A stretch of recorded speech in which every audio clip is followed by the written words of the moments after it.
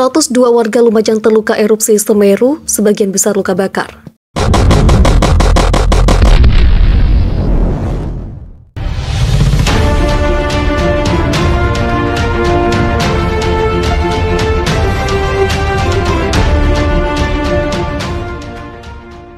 Badan Penanggulangan Bencana Daerah Lumajang mencatat data sementara korban terdampak letusan erupsi Gunung Semeru di Kabupaten Lumajang, Jawa Timur per Minggu 5 Desember, yakni 102 orang mengalami luka-luka dan satu orang meninggal dunia. Satu korban meninggal dunia atas nama Poniem, warga Dusun Curah Kobokan, Desa Supiturang, Kecamatan Pronojiwo. Kata Kepala Bidang Kesiapsiagaan dan Logistik BPBD Lumajang, Wawan Hadi Siswoyo, saat dihubungi antara di Lumajang. Pada Sabtu 4 Desember 2021, Sungai Besuk Kobokan Desa Supiturang, Kecamatan Pronojiwo, Kabupaten Lumajang mengalami banjir lahar dingin. Kepulan asap tebal disertai abu pasir dari material lava, awan panas guguran Gunung Semeru terbawa guyuran air hujan. Berdasarkan data yang kami terima di Kecamatan Pronojiwo tercatat 45 orang luka-luka dan satu orang meninggal dunia. Sedangkan di Kecamatan Candipuro tercatat sebanyak 57 orang mengalami luka, sebagian besar korban mengalami luka bakar, tuturnya. Menurutnya dampak material yakni jembatan Geladak Perak jalur utama arah Lumajang Malang terputus total sehingga warga di dua kecamatan yakni Kecamatan Pronojiwo dan Tempur Sari terisolasi atau tidak ada akses jalan lagi menuju kota Lumajang. Ribuan warga di desa Supiturang, Kecamatan Pronojiwo dan desa Sumberwulu di Kecamatan Candipuro mengungsi ke masjid dan kantor desa serta di sejumlah titik yang dianggap aman, katanya. Wawan menjelaskan akses jalan menuju lokasi pengungsi masih tertutup hujan yang disertai abu vulkanik dan BPBD Lumajang terus bergerak untuk melakukan evakuasi terhadap warga yang terdampak letusan Semeru. Wakil Bupati Lumajang Indah Emperawati mengatakan bahwa masih ada 10 warga yang belum bisa dievakuasi dari dusun yang terdampak letusan Gunung Semeru di Desa Supiturang, Kecamatan Pronojiwa, Kabupaten Lumajang, Jawa Timur. Sebagaimana dikutip dalam siaran pers pemerintah kabupaten yang diterima di Lumajang pada Minggu 5 Desember 2021, Wakil Bupati mengatakan bahwa petugas kesulitan mengevakuasi 10 warga dari Dusun Curakobokan karena jalur menuju ke dusun itu susah dilalui kendaraan. 10 orang masih belum bisa dievakuasi karena lokasinya agak sulit. Mobil tidak masuk lokasi karena lumpur sampai lutut, kata Wabub Indah. Dia mengatakan petugas berusaha mengevakuasi warga dari Curakobokan dengan bantuan dari komunitas pengguna jeep.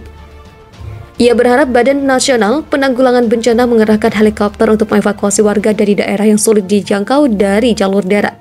Menurut data pemerintah kabupaten hingga saat ini, sekitar 300 warga dusun Curakobokan sudah mengungsi di Balai Desa Pananggal, Kecamatan Cadipuro. Bunda Indah mengatakan bahwa sebagian besar rumah warga di dusun Curakobokan rusak akibat awan panas guguran Gunung Semeru, sehingga warga dusun itu harus mengungsi.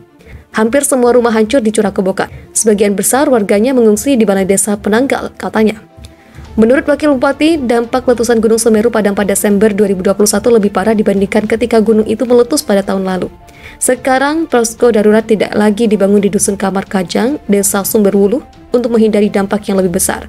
Posko Kamar Kajang hanya difungsikan sebagai dapur umum Dinas Sosial Kabupaten Lumajang, katanya. Menurut data BNPB, erupsi Gunung Semeru hingga minggu pagi telah menyebabkan 13 orang meninggal dunia dan puluhan orang terluka serta mengakibatkan kerusakan rumah warga. Badan Penanggulangan Bencana Daerah Lumajang mencatat data sementara korban terdampak letusan Gunung Semeru di Kabupaten Lumajang, Jawa Timur, yakni 102 orang mengalami luka-luka. Berdasarkan data yang kami terima di Kecamatan Pronojiwo tercatat 45 orang luka-luka dan satu meninggal dunia, sedangkan di Kecamatan Candipuro tercatat sebanyak 57 orang mengalami luka. Sebagian besar korban mengalami luka bakar, tutur Kepala Bidang Kesiapsiagaan dan Logistik BPBD Lumajang Hawawan Hadi Siswoyo saat dihubungi per telepon di Lumajang Minggu 5 Desember 2021. Menurutnya dampak material yakni jembatan Geladak Perak, jalur utama arah Lumajang Malang terputus total sehingga warga di dua kecamatan yakni Kecamatan Pronojiwo dan Tebur Sari terisolasi atau tidak ada akses jalan lagi menuju kota Lumajang. Ribuan warga di Desa Supiturang, Kecamatan Pronojiwo dan Desa Sumberwulu di Kecamatan Candipuro mengungsi ke masjid dan di kantor desa serta di sejumlah titik yang dianggap aman, katanya. Wawan menjelaskan akses jalan menuju lokasi pengungsi masih tertutup hujan yang disertai abu vulkanik dan BPBD Lumajang terus bergerak untuk melakukan evakuasi terhadap warga yang terdampak letusan Semeru.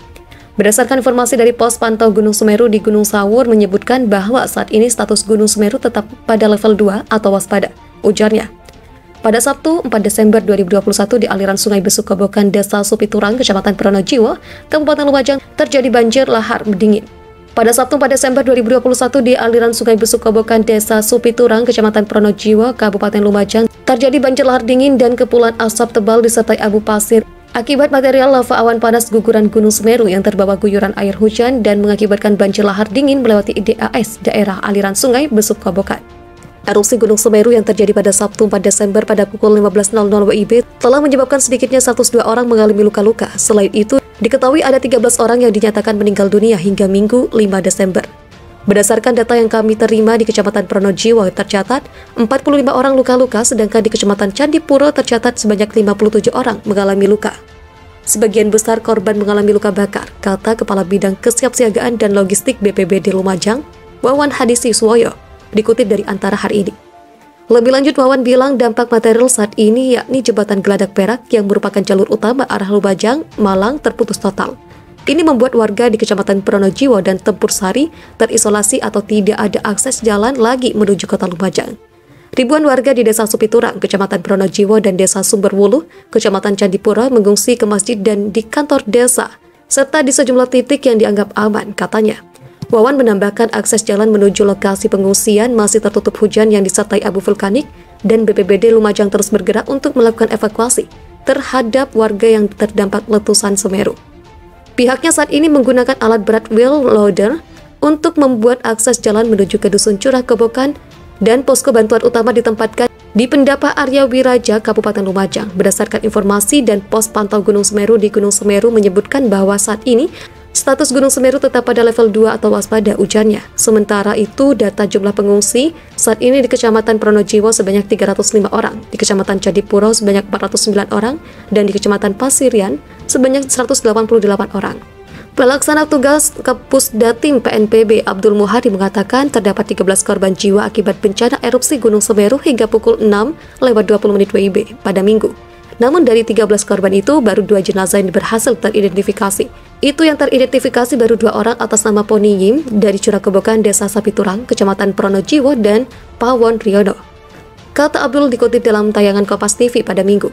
Jadi 13 orang korban ini merupakan update langsung dari lapangan dari Bapak Kepala BNPB, tambah dia.